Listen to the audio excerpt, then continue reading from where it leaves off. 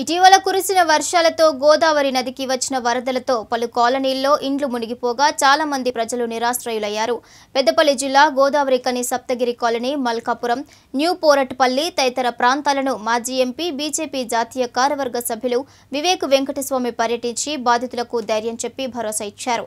తమను ఏ ఆఫీసర్లు అధికార పార్టీ నాయకులు పట్టించుకోవడం లేదని వివేక్ ముందు తమ ఆవేదనను వెళ్ళబోసుకున్నారు. నిర్వాసితులైన వారికి కాకా ఫౌండేషన్ ద్వారా నిత్యావసర సరుకులను బీజేపీ లీడర్ల ద్వారా పంపించి వారికి అందేలా చర్యలు తీసుకుంటామన్నారు ఈ కార్యక్రమంలో నాయకులు కార్యకర్తలు పాల్గొన్నారు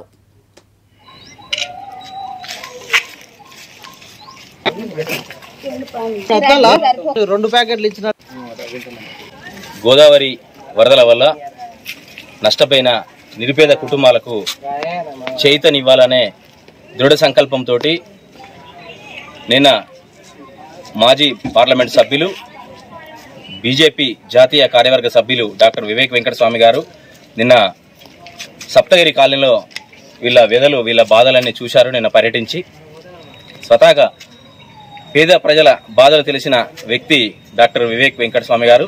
వారు నిన్న ఇక్కడ పర్యటించిన తర్వాత వీళ్ళ బాధలు చూసి తప్పకుండా వీళ్ళ కోసం ఏదైనా చేయాలనే ఉద్దేశంతో ఈరోజు వారి కోసమని నిత్యావసర సరుకులు ఈ నూట యాభై కుటుంబాలకు నిత్యావసర సరుకులు పంపించడం జరిగింది. కాకా వెంకటస్వామి గారి విశాఖ చారిటబుల్ ట్రస్ట్ ఆధ్వర్యంలో ఈరోజు కాకా వెంకటస్వామి గారి పేరు మీద ఈరోజు నిత్యావసర సరుకులు పంచడం జరుగుతుంది. ఇప్పటి నుండో పేద ప్రజలంటే ఇష్టం ఉన్న కాక గారు పేద ప్రజల కోసమే నిత్యం వాళ్ళ జీవితాన్ని అంకితం చేసిన కాక వెంకటస్వామి గారి పేరు మీద ఈరోజు నిత్యావసర సరుకులు పంపించడం జరిగింది. అందరం కూడా వివేక్ వెంకటస్వామి గారికి రుణపడి ఉండాలని కోరుకుంటున్నాం.